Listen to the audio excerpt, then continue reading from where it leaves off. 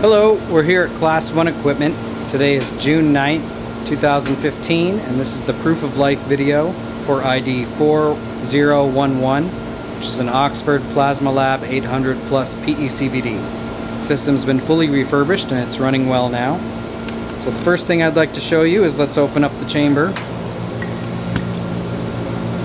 Set the hoist switch to chamber up and press both hoist buttons.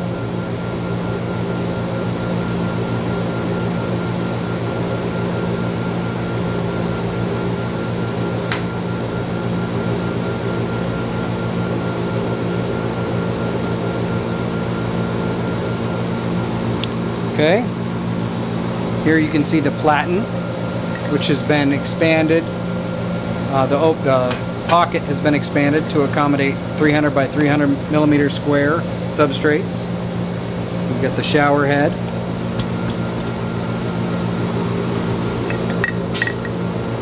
Close it back up.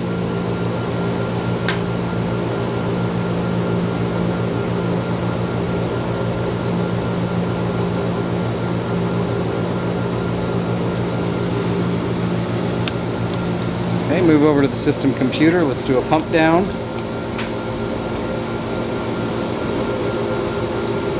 We're in the pump control screen now, found at system pumping. And here you can see the, the user interface with the chamber, the foreline, the slow pump line, the blower, and the pump. To pump down, you can pump down very quickly if you hit evacuate or you can pump down a little slower by giving some soft pump time. So let's give 45 seconds of soft pump time and hit evacuate. System's asking if we inserted a wafer. Let's pretend we did and we'll call it test. That's our wafer name. See the icon for a wafer appeared. We've started counting 45 seconds worth of slow pump time.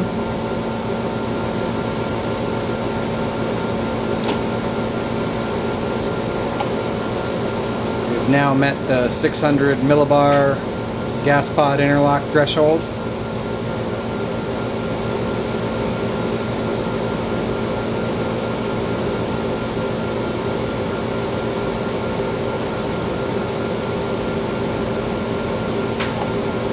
About 10 more seconds, we'll go into fast pumping mode.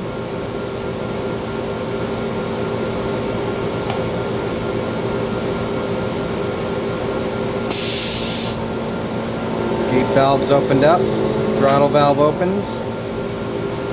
We've come off our 2 millitorr, or sorry, 2 torr manometer, and we're pumping the base.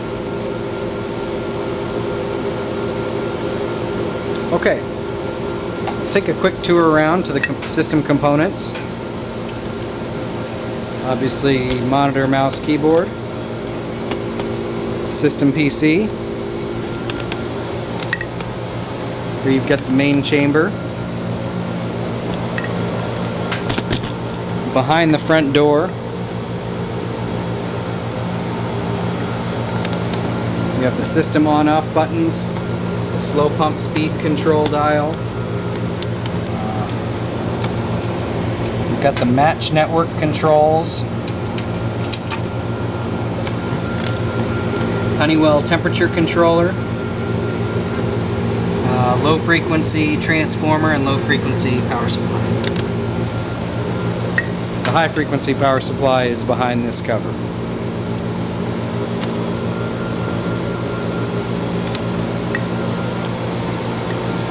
System comes with this Neslab HX75 uh, chiller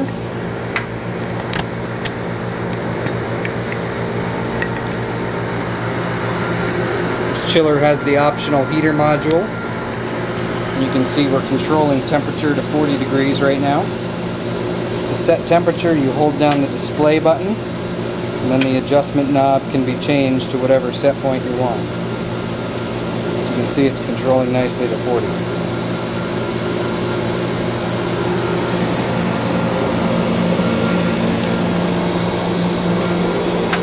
Behind that, we have the system pump pumps an Alcatel uh, ADS 602 pump.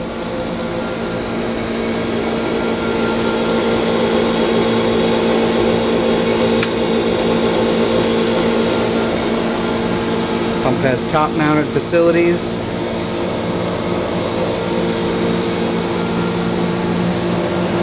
Here's the rear of the system.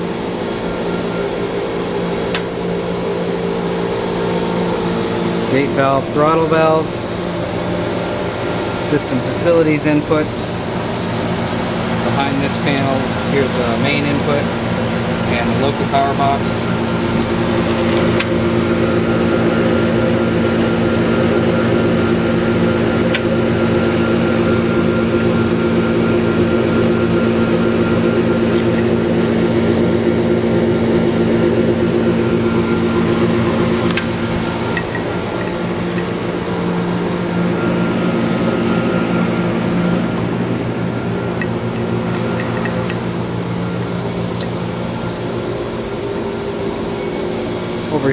Six channel gas box and its stand. This gas box also has been refurbished, all new pneumatic lines, new cables, uh, a couple new gas sticks. Set for six gases with two clean gases.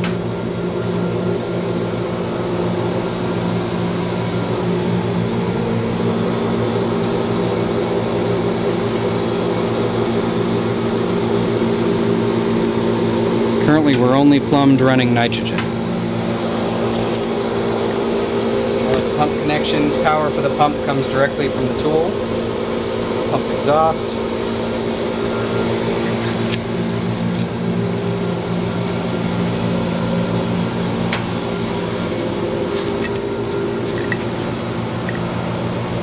Okay, let's go ahead and run a couple runs. I've made some short test runs for this video.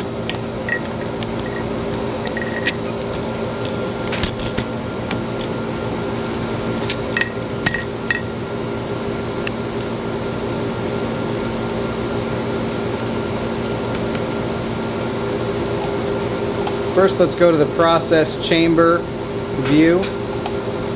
This shows the recipe data, name, step, step time, uh, how often log files are generated, system pressure, current pressure, and set point pressure,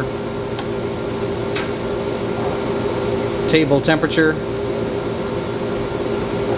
APC controller, you can use a set pressure or a set position. Here you've got the gas box, set points on the right, actuals at the, at the MFC, and the generators. You have high and low freak power applied both to the shower head.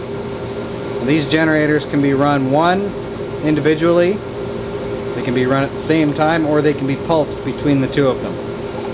I'll show you an example of that. You notice you can't see any clean gas set points right now, that's because we're not in the clean gas mode. If we go to the recipe screen, you select between chamber recipes and cleaning recipes. So our first run, let's run a clean recipe. I'll hit load, and here's my list of recipes. Obviously it's a little short. Select clean test.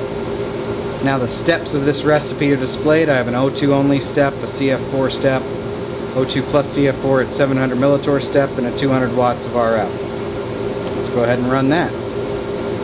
Pops up a warning, it thinks we have a wafer in the chamber. Uh, we don't actually, so I'll just say yes, I'm sure I want to start.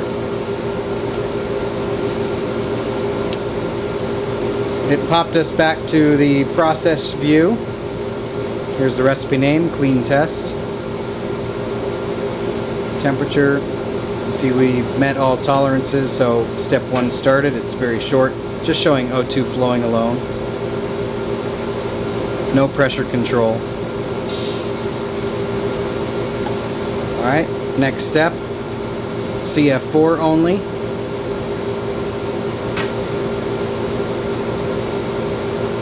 So that flows right as well.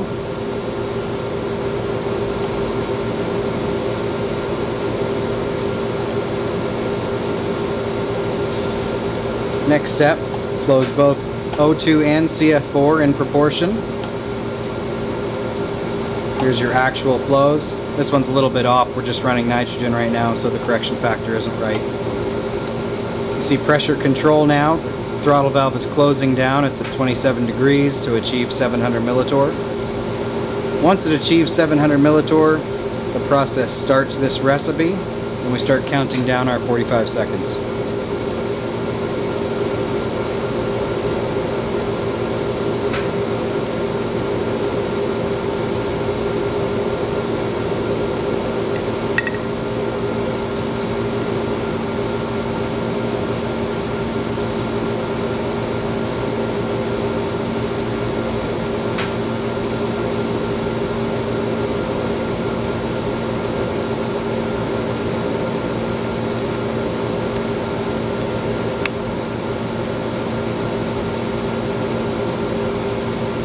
Okay, our next step is going to put high frequency power. Once pressure builds back up.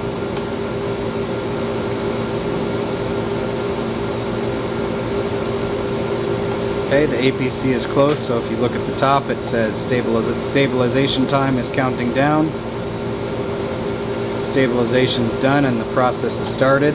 We're applying 200 watts forward power, 1 watt reflected. You can see the high frequency is on.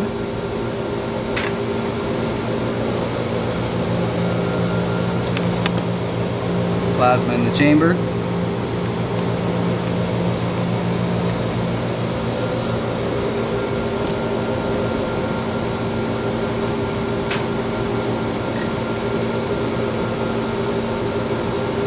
Okay, that's the end of this recipe end of processed reach, I'll accept that. Okay, next we're going to run just a standard process recipe. Click on process recipes. I want to change to a chamber recipe. There's nothing loaded currently, so load my test recipe. Basically it's just flowing nitrogen and then running a pulsed RF.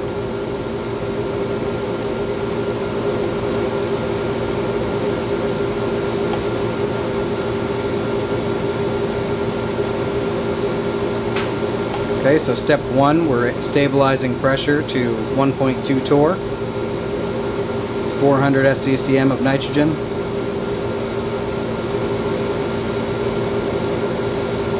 Okay, pressure's in range now.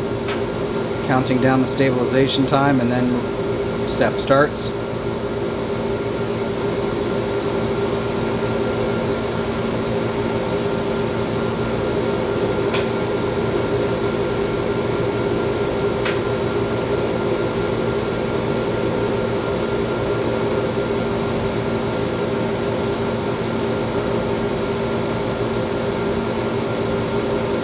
Refurbishment of the system, system pump is sent out for rebuild.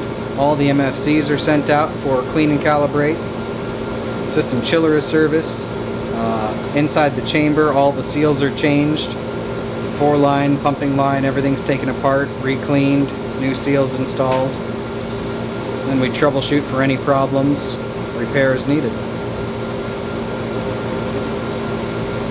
Okay, here comes our pulsed plasma step. Pressure will stabilize. Same gas flow, same pressure control. This time with high frequency we'll turn on first for 50, 15 seconds. And then we'll have 15 seconds of low frequency. And then it'll just hop back and forth.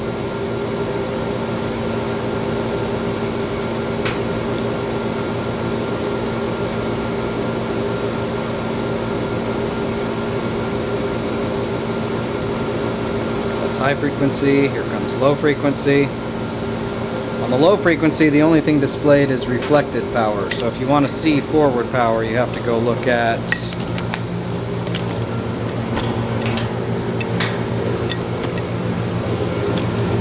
generator, but I think we're, the step is about to end.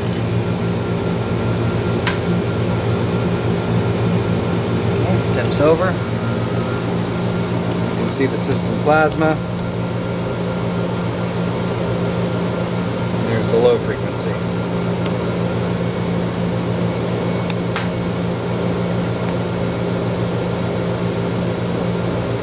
Three, two, one, high frequency.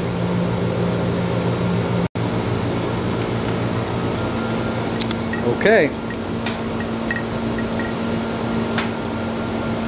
Thanks for watching. This has been Class 1 Equipment's Proof of Life video for ID 4011, an Oxford Plasmalab 800 PECVD system. Thank you very much.